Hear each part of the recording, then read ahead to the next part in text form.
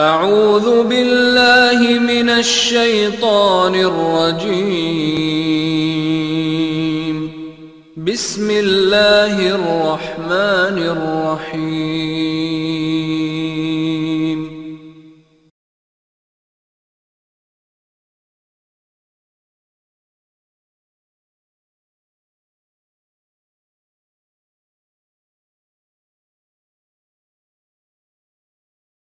السلام عليكم ورحمة الله وبركاته الحمد لله رب العالمين وبه نستعين والصلاة والسلام على سيد المرسلين وعلى آله وأصحابه وأهل بيته وسلم أجمعين أما بعد۔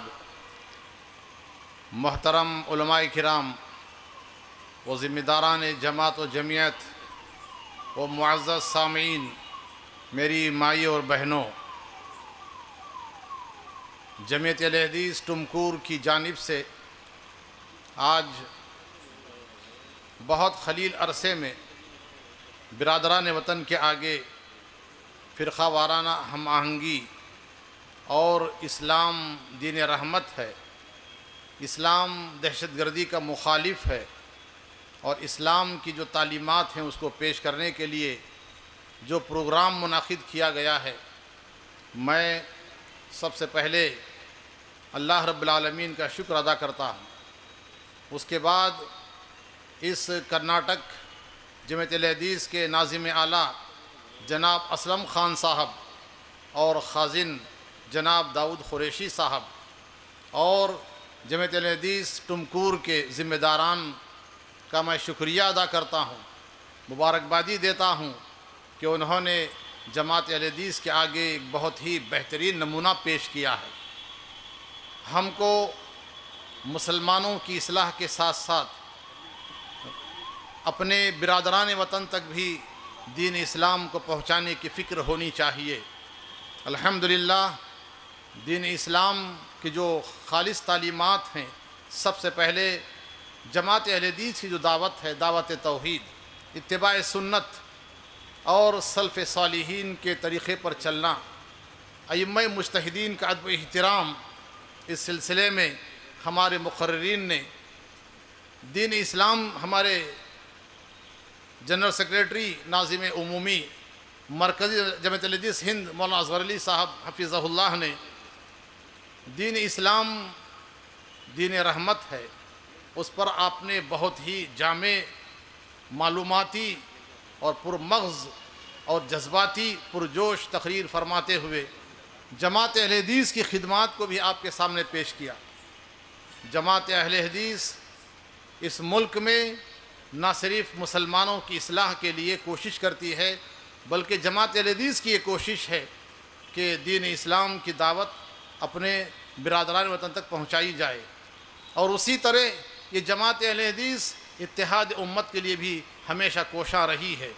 آج ہم دیکھ رہے ہیں کہ اس اسٹیج پر جہاں اپنی جماعت کے علماء ہیں، الحمدللہ دوسری تنظیموں کے اور دیگر مسلک کے ماننے والے علماء کرام بھی بسط احترام ہمارے دوش بدوش تشریف فرما ہیں۔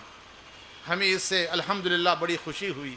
اور ہم یہ چاہتے ہیں کہ اتحاد و اتفاق کا یہ مظہر نہ صرف ٹمکور میں بلکہ پورے کرناٹک میں اتحاد و اتفاق کا مظہر ہونا چاہیے کہ ہم اپنی دعوت کو برادران وطن تک ہی نہیں، بلکہ ہم اپنی دعوت کو عام کرنا چاہتے ہیں۔ اور ہم چاہتے یہ ہیں کہ یہ کام، دعوت کا کام نوجوان بھی کریں، نوجوانوں کے درمیان میں بھی ہو، طلباء کے درمیان میں بھی ہو، خواتین کے درمیان میں بھی ہو۔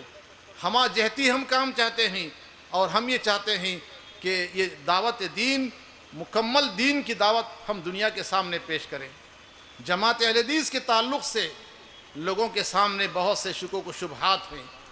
ہمارے اپنے بہت سے اہل حدیث بھائی بھی سمجھتے ہیں۔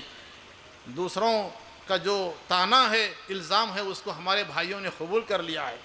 یہ سمجھتے ہیں کہ ہم دین کے بعض فروئی مسائل پر محنت کرتے ہیں۔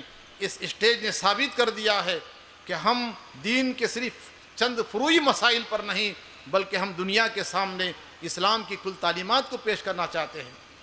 دین اسلام کو اس اس دنیا، اس اس اس ملک والوں کے سامنے دین اسلام کو پیش کرنا چاہتے ہیں۔ اور اس سرزمین پر اللہ رب العالمین کی، اکیلے اللہ رب العالمین کی توحید کی دعوت کو ہم عام کرنا چاہتے ہیں۔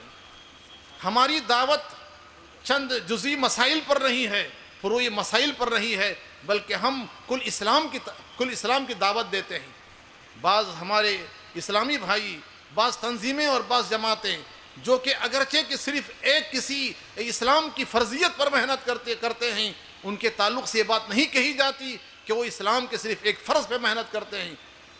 جماعت اہل حدیث جو دنیا کے سامنے کتاب اللہ اور سنت رسول صلی اللہ علیہ وسلم کی دعوت دیتی ہے، اس جماعت کے تعلق سے یہ الزام اتنا دہرایا گیا کہ اس جھوٹ کو لوگوں نے سچ سمجھ لیا ہے اور لوگ ہمارے اپنے دہراتے ہیں کہ جماعت اہل حدیث چند جزوی مسائل پر محنت کرتی ہے۔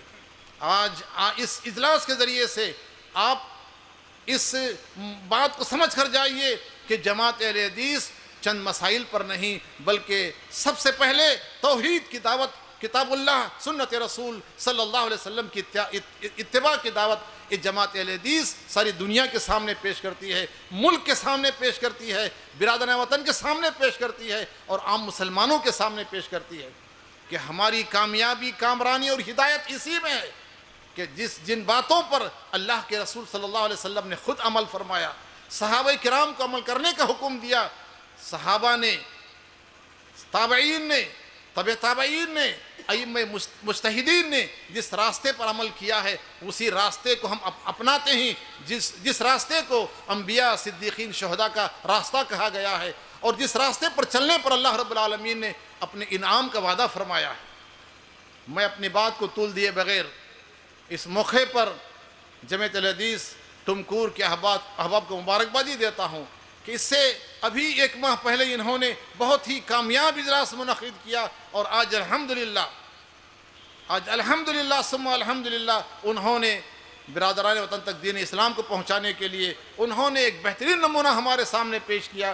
میں امید کرتا ہوں کہ انشاءاللہ جس طرح یہاں ایک پہلا سلسلہ شروع ہوا ہے پوری ریاست میں انشاءاللہ برادران وطن تک دین اسلام کو پہنچانے کے لیے اس طرح کے پروگرام منعقد کیے جائیں گے انشاءاللہ۔ اللہ رب العالمین سے دعا ہے کہ اللہ تعالی ہمارے آپ کی یہاں جمع ہونے کو قبول فرمائے۔ اللہ تعالی ہم سب کی محنتوں کو قبول فرما کر اخلاص کے ساتھ ہمیں کام کرنے کی توفیق عطا فرمائے۔ صلی اللہ علیہ نبی السلام علیکم ورحمۃ اللہ وبرکاتہ۔